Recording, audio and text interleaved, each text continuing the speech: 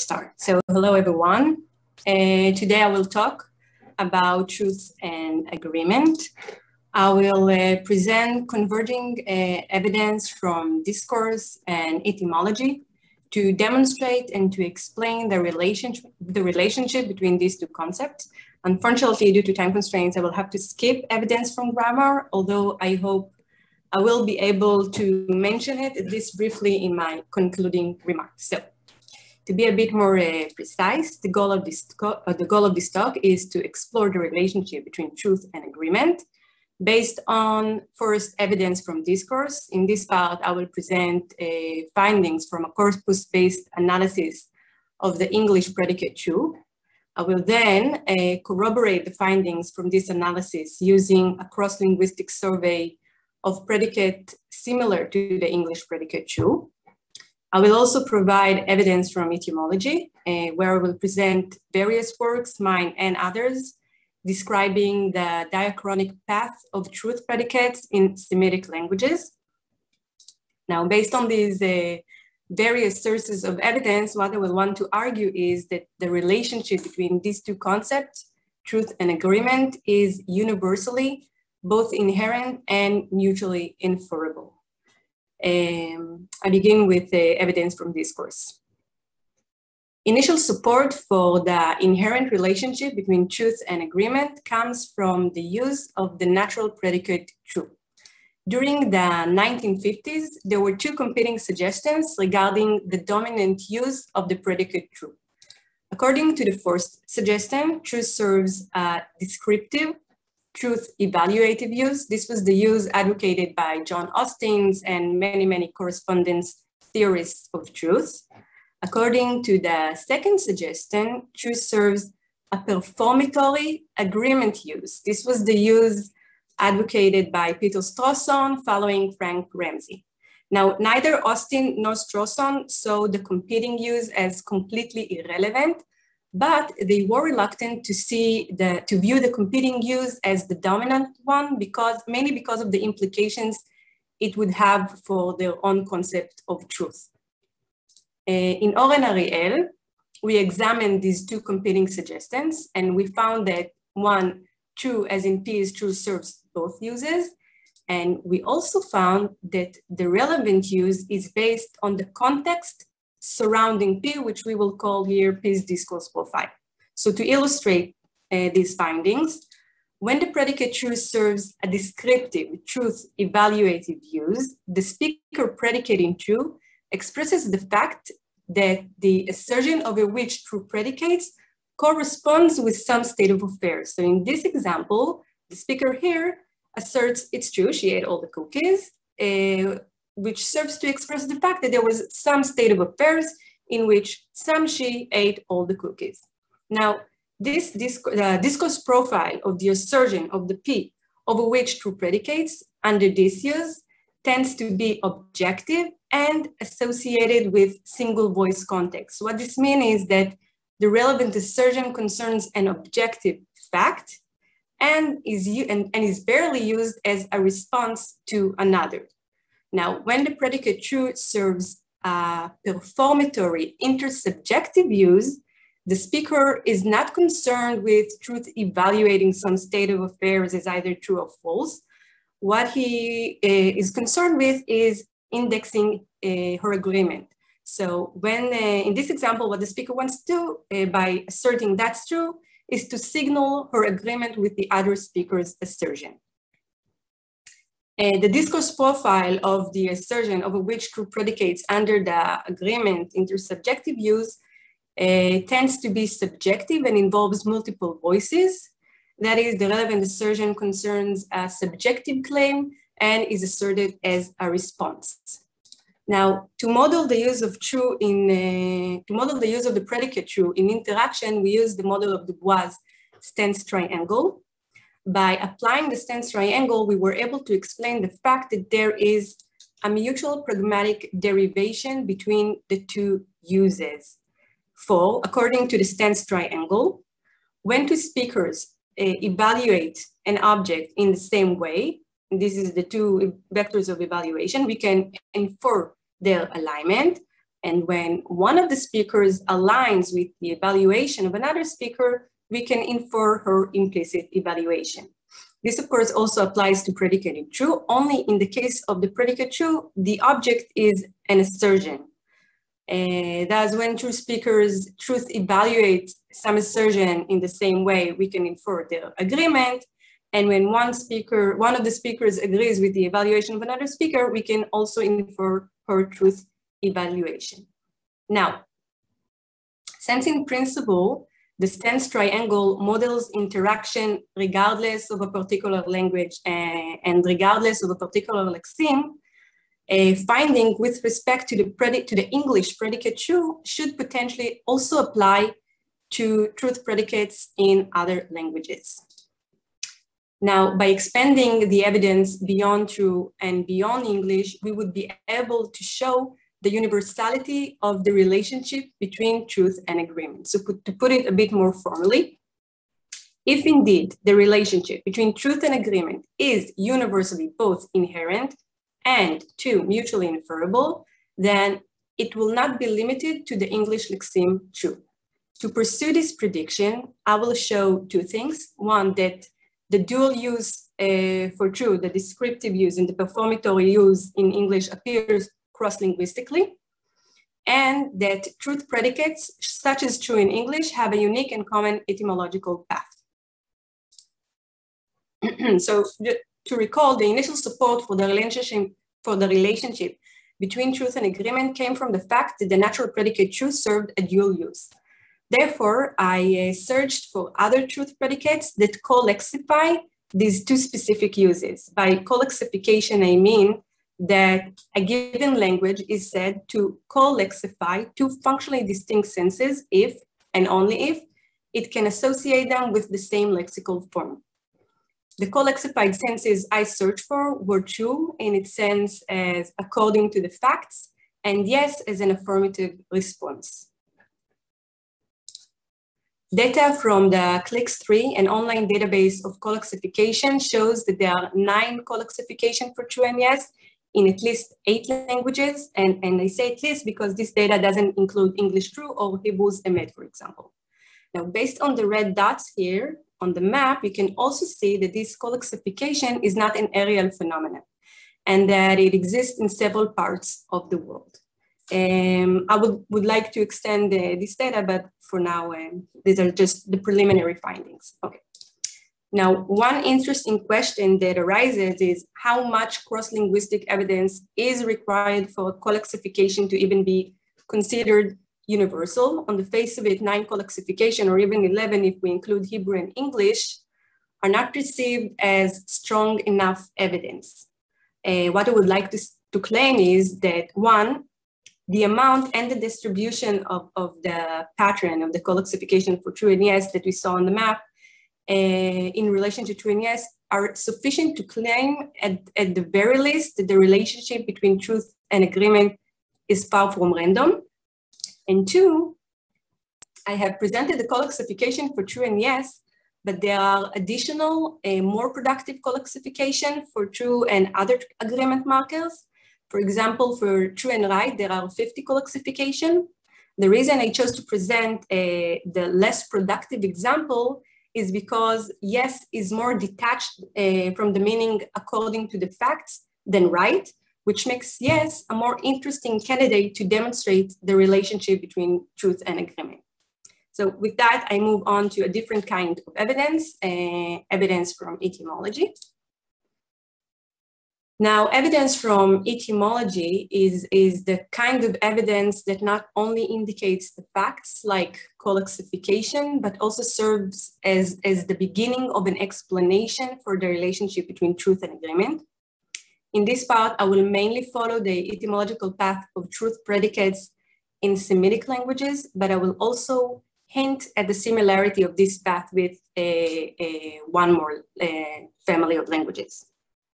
Now, the diachronic path of true in all caps and curly brackets to capture the sense rather than a certain lexeme occurs in a certain way, not, not necessarily the only way.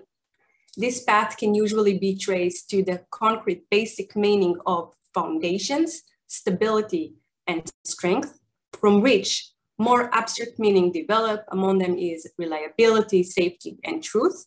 And from the sense of truth, a colexified meaning develops that expresses both the adjective true according to the facts and the discourse marker yes, which index agreement. Now, when we see this path like this, it, it is very obvious, but from a building or, or a stand or a base, it's hard to think that we, we reach uh, the intersubjective marker yes.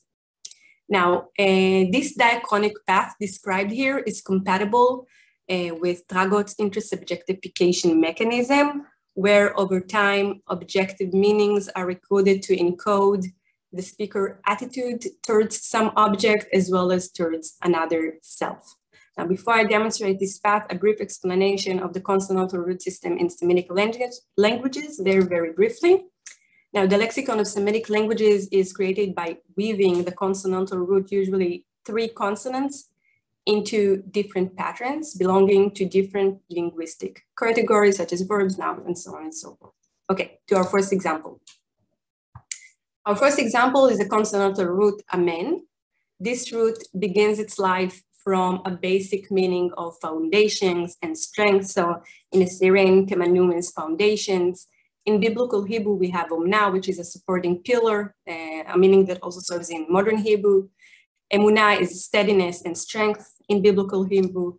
These meanings evolved not necessarily, again, in a linear manner into more abstract meanings. So we have emunah, which means faith in biblical Hebrew. Uh, amen, enemet means truth. Mehiman means trustworthy. Amenah means trust in Ge'ez, and in Arabic, amin means safe. Nowadays, um, in modern Hebrew, I didn't write words in Hebrew. Uh, we have two intersubjective uh, markers uh, that index agreement, both evolved from the meaning of truth. The first one is amen, which is well known uh, and serves to, uh, uh, to index agreement. Now, interestingly, it, it seems that it cannot serve in modern Hebrew the descriptive truth evaluative use. the second discourse marker, emet, uh, according to the dictionaries, is an adjective is an adjective that indicates that the assertion corresponds with the facts, but in natural interaction, we can also find it uh, to serve uh, to index agreement. Another case study, a very similar diachronic path can also be observed with respect to the consonantal root con. This root too begins its life from a basic meaning of foundations and strength. So in uh, Akkadian, Kanu means was strong. In biblical Hebrew, Kan is a stand. Nachon is steady. In Arabic, Takwin means a building. And Kan in Kana, uh, in Aramaic, Kan in Kana is base. This meaning too evolved into more abstract meanings. Uh, so we have Nachon, which means truth. In biblical Hebrew, Nechona, which means truthful assertion, and Ken, which means truth.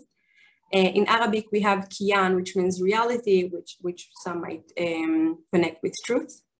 And, for, uh, and these meanings too uh, evolved into more, uh, into two intersubjective markers in uh, Hebrew.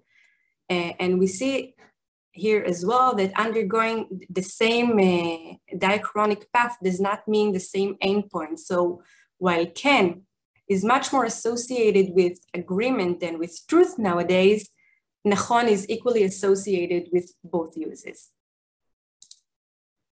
Uh, a look at uh, the Oxford English Dictionary indicates that the development of the English predicate true is not so different.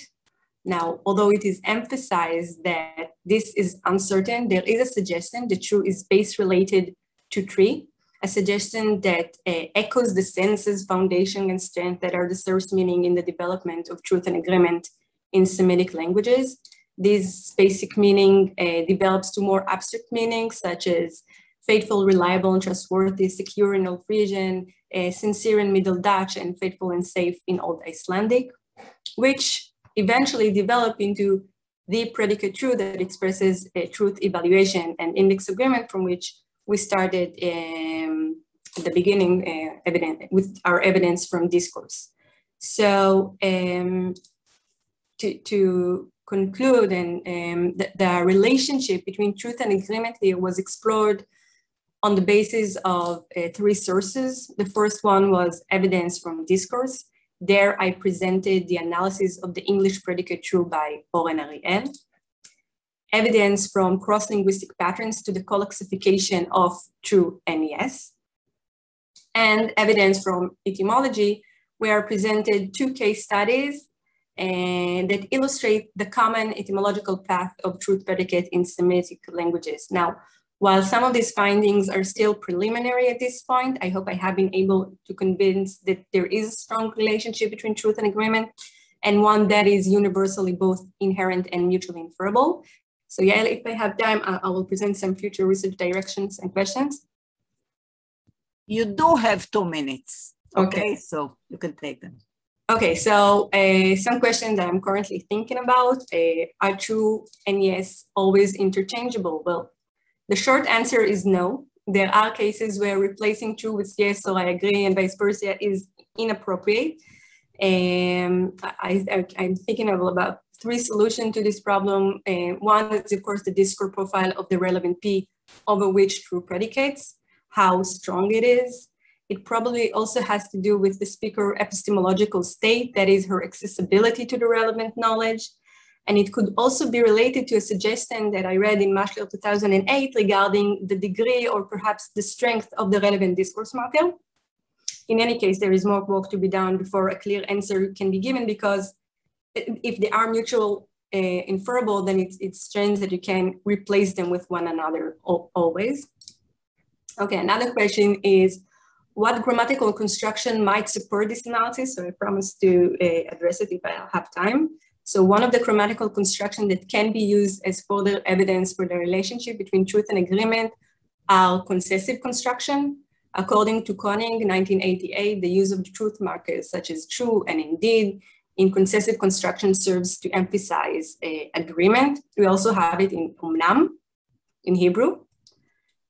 Um, another question, can mutual inferability also predict a development from agreement markers to truth predicates?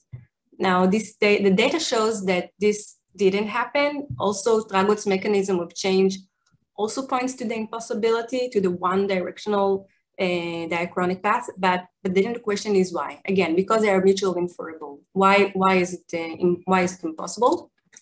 Last is the question that I find most interesting, what might be the implications for the relationship between truth and agreement to the relationship between truth and meaning in the sense of truth conditions. Now, in principle, the linguistic use of the predicate true need not necessarily testify to the nature of truth or meaning or truth conditions, but, but I believe that it does. I believe that the complexity we observe with respect to truth stems from its simultaneous relations to objective state of affairs, subjective truth evaluations, and intersubjective acts of agreement.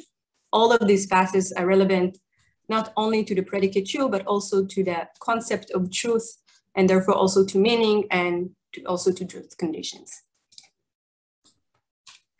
Okay. I'll stop sharing. Yeah. And let us see uh, people. Uh, thank you. I see uh, hands already. Uh, uh, I see Vinicius. You can unmute yourself. I think Michal was first, but I mean, yeah. Sorry. Okay. Um, thank you for this. This is this is really really fascinating work. Um, I was wondering. So one thing I wanted to say is maybe a data point. Uh, in Portuguese, both European and, and Brazilian Portuguese, you have the same pattern, right, with uh, the marker agreement marker truth uh, which is also used right as agreement marker, um, and it's also right the mm-hmm. noun. Yeah. Uh, so yeah. Um, and then the question that I had was, so do you know what, or like, what what is the relationship between the usage of these agreement markers and then sort of other response particles, right? So like yes, no, or things like doch in German, right? So do they have a, what's the relationship in usage, but also in diachrony, uh, like overall in your story, right? Not just in specific languages. Uh, for yes, uh, for from the direction of yes, you mean? Uh, uh, yeah, overall, like so. Do, do you think there's a specific something that you can tell about usage that you know can be traced back to diachrony about how what combination people use and what context people are going to use a response a response particle as opposed to an agreement marker, right? Ah, um, well, I think about that question. Um, well, I see yes as a response. I saw it also colexified with other meanings, which is, was also a direction I thought to explore uh, with respect to the directionality of the findings, um, whether it can, if it's not developed from uh, true and yes, maybe it can come from another direction. Uh, the relationship of, of uh, but so I saw it colexified with if and and and, and other um, senses but I, I, don't know if I have a lot to say about the, the relationship of BS with other responses. Um, there are other questions. Okay, so Michal, Michal. Thank you. It was very interesting. Um, so I want to speak to two of your uh, questions that you presented in your last slide. Um, so first about the interchangeability of yes and true.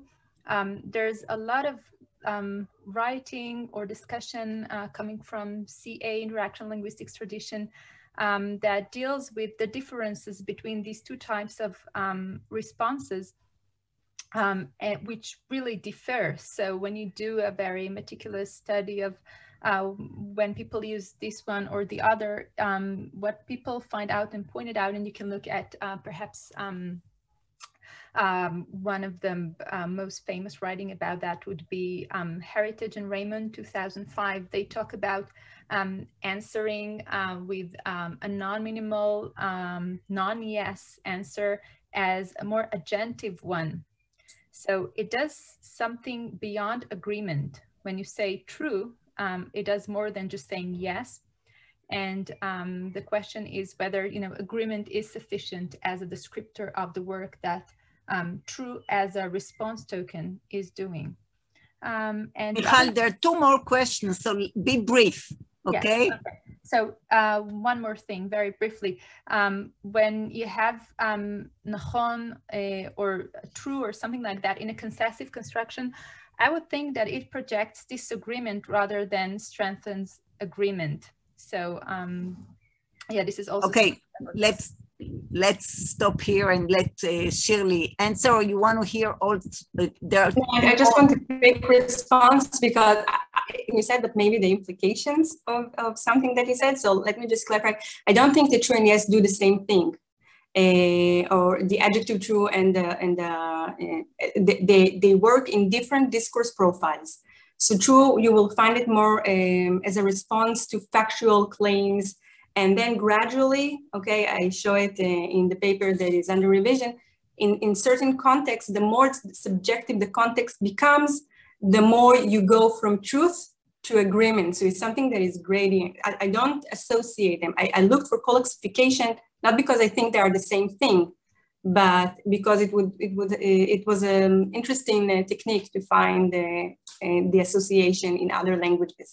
So, okay, yeah. Shirly, one yeah. one last question, I think. Elitzur. Uh, a brief comment and then maybe maybe Jack will. Question. will yeah, so okay. so one thing is that it's interesting. Nachon also in Hebrew is used sometimes as true. So actually negative. In Hebrew, it's very odd to say it is false that. We say the lo nachon she. So it's very hard to say it's the sheker she. So the word nachon under negation actually becomes more like a true marker. Uh, nice, nice example. Uh, uh, but but we have I think, two minutes. Okay, so more deeply, I, I think uh, maybe I missed it, but but I'm not sure that I completely understood the difference between like uh, that agreement. Is, in what sense agreement is not about truth? So when when at what extent when we say I, I agree, it is not about okay I I, I agree means I agree that this is true. So so I'm, I'm, I'm missing something like I I'm, I'm not sure that I 100% understood the distinction. Well, maybe I will I will try to answer it by uh, explaining one of the uh, tests that we did to uh, differentiate between the two uses. There are some cases where um, the performatory use is completely irrelevant, and there are some cases where the descriptive use and I'm saying descriptive to, to like differentiate between true and yes. So it's completely irrelevant. So we started out from uh, trying to find out which of the suggestion was um, was right. But and what I want to say is that there are cases you, where you can agree with someone without wanting to confirm the truth of what is said. Can I jump in? Yes. Can you give me we, just we are far, I mean, we're over our time, so let's, So let's, just give me give an example. I think it would be you Okay, can, you can contact, you can contact her, okay? Please. Uh, okay, thanks. We have to move on to the last session and that's the end of this session. Okay, so who takes over? Me, I do. It's a 15 minute break. Ah, So okay, so you if there's a break, she can go. She can go on. So I can explain to you, Elitzur, a little bit. Okay, So what we're talking about is relative prominence. Uh, Shirley couldn't go into all of this very much. So we're saying that you can think of agreement, the subjective agreement and the objective truth predication as two end uh, um, functions. And many times we are here or here or whatever. So I, I, I can make discourse prominent by agreeing with you, or I can make discourse prominent the fact that I'm asserting P to be true. Okay. Some cases are really at the end, and therefore it's an either or. Okay. so. Can And you agree without thinking that something is true? no, but you Um, can say nachon aval. You're, No, that's you're, different- you're going you're going the logical way, Elitzu. No, no, no, okay? no, I'm- no, no. So, wait a minute. Uh, let, let me no let me clarify what, what, what i'm actually so i was wondering no to be honest this is not like a I'm so the question is whether uh, so because sometimes it looked to me that the agreement here was basically a response so when the distinction between assertion and agreement is who's first. So if i so that was i was wondering to what extent this is not a distinction. Suppose you tell me that you're happy okay? The, the uh, most of the um, things that we agree with oh you're having difficulty or whatever.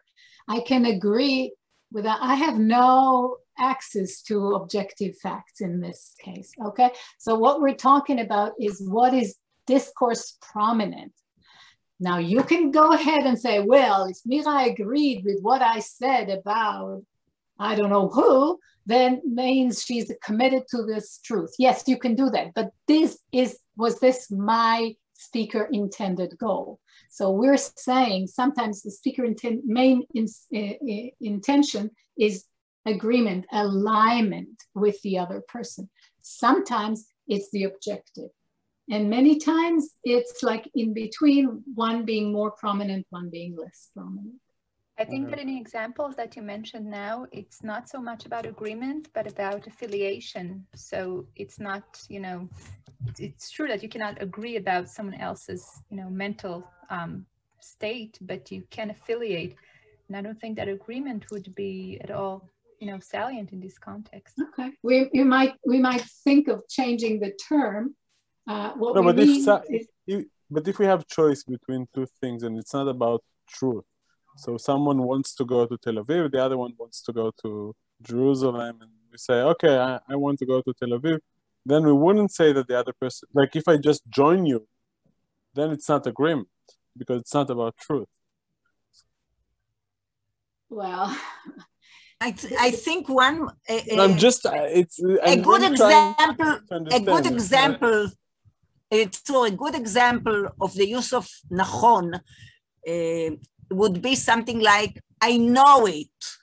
And in addition to, so it's, it's not exactly truth, but something like a, um, shared knowledge at this point with respect to it. Okay, so nachon aval would be okay. So that's true. Given that, I think that would be the kind of response that people that people um, make. If I could jump in, you can you can say about something that didn't happen, okay, a hypothetical or future event that it's true, right? Because Oh, impossible yeah so a future maybe i'm event, thinking eh, too much in logical terms a, a, a hypothetical event, a, you can confirm it as true, but, but people respond true. So this is the kind of event where you know that it, it's not a it's not a correspondence with some state of affairs. It's something else. The, the speaker is doing something else. It is not confirming any event because the event didn't happen. It's about alignment. If I may add just also one yeah. Uh, yeah. I think one of the really cool things that, you know, if we actually look at uh, usage interaction is that people tend to combine these things, right? So they say yes, but actually, or they say, well, not really, right? So there's a bunch of particles and markers being used at the same time. And I think those are also interesting scenarios where we see what possible combinations, what, co what combinations are possible mm, in the first mm, place, right? Mm. Well, my favorite is yes, no. yeah.